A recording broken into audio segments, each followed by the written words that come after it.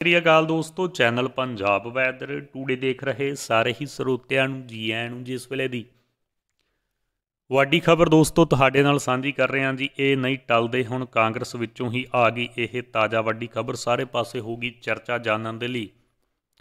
Video ਨੂੰ ਅੰਤ ਤੱਕ ਦੇਖ ਲਿਓ, ਤੁਹਾਨੂੰ ਪੂਰੀ ਖਬਰ ਦਾ ਪਤਾ ਲੱਗ ਜਾਏਗਾ। ਵੀਡੀਓ ਨੂੰ ਲਾਈਕ, ਚੈਨਲ ਨੂੰ ਸਬਸਕ੍ਰਾਈਬ ਅਤੇ ਵੀਡੀਓ ਨੂੰ ਵੱਧ ਤੋਂ ਵੱਧ ਸ਼ੇਅਰ ਕਰਨਾ ਨਾ ਭੁੱਲਿਓ।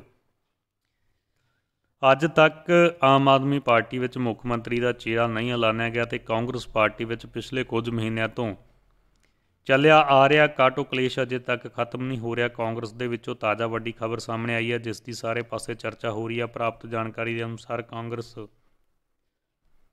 ਵਿੱਚ ਇੱਕ ਵਾਰ ਫਿਰ ਤੋਂ ਉਥਲ-ਪੁਥਲ ਦੇਖੀ ਜਾ ਰਹੀ ਹੈ। ਨਵਜੋਤ ਸਿੱਧੂ ਨੂੰ ਕਾਂਗਰਸ ਪ੍ਰਧਾਨ ਦਾ ਅਹੁਦਾ ਬਣਾਏ ਜਾਣ ਤੇ ਆਗੂ ਸ਼੍ਰੀ ਅਨੰਦਪੁਰ ਸਾਹਿਬ ਤੋਂ ਸਾਂਸਦ ਮਨੀਸ਼ ਤਿਵਾੜੀ ਦੇ ਵੱਲੋਂ ਸ਼ਬਦੀ ਹਮਲਾ ਕਰ ਦਿੱਤਾ ਗਿਆ। ਉਹਨਾਂ ਦੇ ਵੱਲੋਂ ਹਾਈ ਕਮਾਂਡ ਨੂੰ ਸੰਬੋਧਨ ਕਰਕੇ ਆਖਿਆ ਗਿਆ ਹੈ ਕਿ ਕੋਸ਼ਿਸ਼ਾਂ ਦੇ ਬਾਵਜੂਦ ਵੀ ਪੰਜਾਬ ਦੀ ਕਾਂਗਰਸ ਸਰਕਾਰ ਵਿੱਚ ਚੱਲ ਰਿਹਾ ਵਿਵਾਦ ਖਤਮ ਨਹੀਂ ਹੋਇਆ, ਇੱਕ ਦੂਜੇ ਦੇ ਉੱਪਰ ਕਾਂਗਰਸੀ ਵਿਧਾਇਕਾਂ ਵੱਲੋਂ ਹੀ ਦੋਸ਼ ਲਾਏ ਜਾ ਰਹੇ ਨੇ। ਮਨੋਜ ਤਿਵਾੜੀ ਨੇ ਪੰਜਾਬ ਕਾਂਗਰਸ ਵਿੱਚ ਨਵਜੋਤ ਸਿੱਧੂ ਪ੍ਰਧਾਨ ਬਣਾਉਣ ਤੇ ਸਵਾਲ ਚੁੱਕਦੇ ਹੋਏ ਆਖਿਆ ਕਿ ਉਹਨਾਂ ਮੁੱਦਿਆਂ ਉੱਪਰ ਵਿਚਾਰ ਚਰਚਾ ਕੀਤੀ ਗਈ ਹੈ, ਪਰ ਕੁਝ ਆਗੂਆਂ ਦੇ ਵੱਲੋਂ ਕਈ ਮਸਲਿਆਂ ਨੂੰ ਲੈ ਕੇ ਵਿਰੋਧ ਕੀਤਾ ਜਾ ਰਿਹਾ, ਜਿਸ ਦੇ ਵਿੱਚ ਰੇਤ ਮਾਫੀਆ, ਬਿਜਲੀ ਸਮਝੌਤੇ, ਡਰੱਗਜ਼ ਅਤੇ ਬਰਗਾੜੀ ਬੇਅਦਬੀ ਵਰਗੇ ਮੁੱਦੇ ਸ਼ਾਮਲ ਨੇ। ਸਾਂਸਦ ਮਨੀਸ਼ ਤਿਵਾੜੀ ਨੇ ਕਿਹਾ ਕਿ ਪੰਜਾਬ ਦੇ ਵਿੱਚ ਕਮੇਟੀ ਦੀ ਨਿਯੁਕਤੀ ਕਰਦੇ ਸਮੇਂ